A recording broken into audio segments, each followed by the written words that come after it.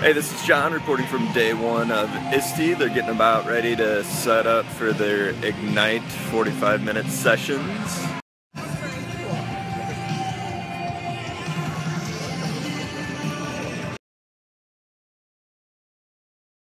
What's your favorite part of ISTE? The favorite part of ISTE is definitely increasing my professional learning network and talking to educators from all over the world.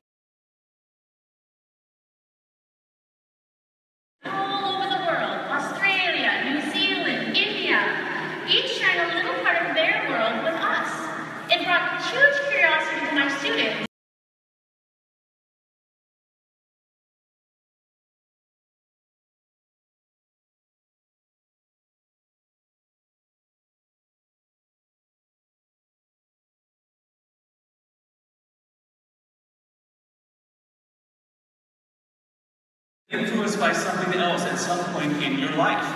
And so one of the things that has influenced me over time is this video. Everything's a remix. And in this video, it reminds me